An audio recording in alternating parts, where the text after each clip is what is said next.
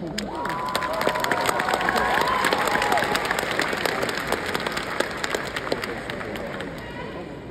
at Lincoln, Lydia has accomplished numerous academic achievements, including the completion of 18 advanced placement courses. The rigorous academic schedule earned her the honor of AP Scholar with distinction two years in a row. She earned the AP Biology Award, the AP Excellence Award, all while competing in on varsity tennis, the Model UN team, Mu Alpha Theta, and serving as a member of the National Honor Society and Key Club. Lydia's achievements don't end in the classroom. She was Lincoln's best and brightest representative in the business category. Her entrepreneurial spirit inspired her to start her own online clothing store called Lydia's Closet, where she displays and sells many of her own creations. Lydia will be attending the University of Florida in the fall, where she will be studying biomedical engineering.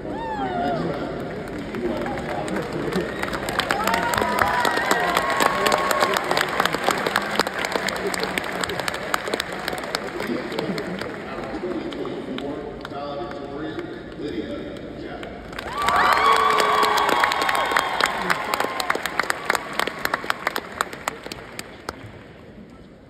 Good afternoon, everyone. I'm so honored to be standing before you all today, representing the class of 2024 as your valedictorian.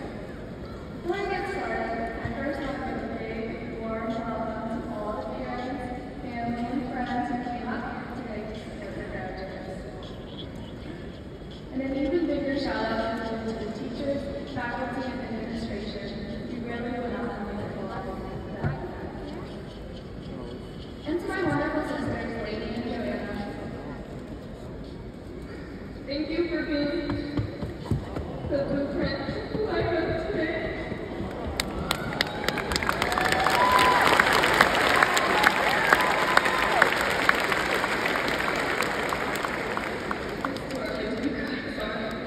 For guiding through, guiding me through high school life and womanhood.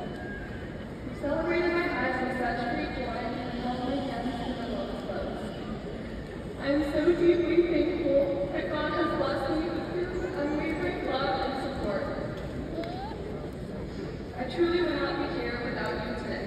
Thank you so, so, so much for pushing me to achieve my utmost. Now, I just want to preface that they gave me months, and I mean months, to prepare this speech. Yet for me, it wasn't until maybe two weeks ago when I actually started writing this speech. On the back of the car that I followed all the way to Lincoln was a bumper sticker that said, change how you look, not what you see. It's the perfect delivery to the message that I wanted to share with you all today. Almost too perfect. I should probably mention that I have had a habit of driving without glasses or contacts, so I actually took a picture of the car. Look at later to make sure I was doing it correct. When I finally got home to look at this picture, I realized there was a graphic next to this bumper sticker. It was a detailed depiction of a very bodacious woman. I googled more about the bumper sticker and I realized change how you look not what we see, like in the mirror, is what it actually says. It's interesting how perfectly I was with this. Not wearing glasses really changed how I look. But for the sticker today, we will go with what I initially thought it meant. That one should alter their outlook on life rather than attempt to change life itself. Beauty perspective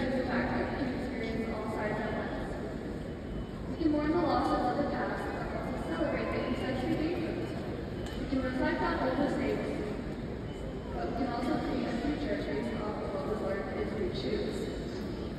Class of 2024, unfamiliar is all too familiar for us.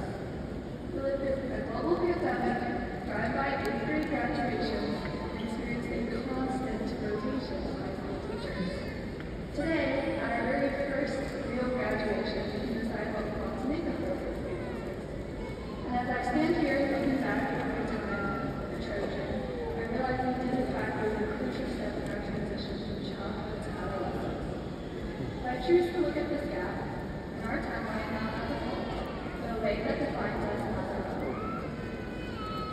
We have differences. We love differences.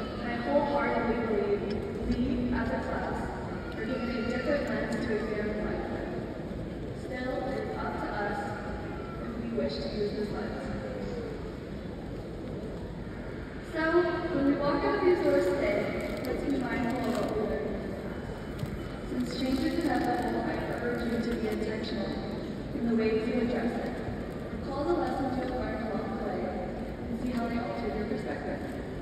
Choose people who truly impact how you look at things. Recognize the things that you feel when you say your goodbyes and transform it in a way that helps you truly value the people you know in the future. But you're still having a hard time with your farewells. Take a picture. Makes the moment last. Thank you and congratulations again. Class of 2024.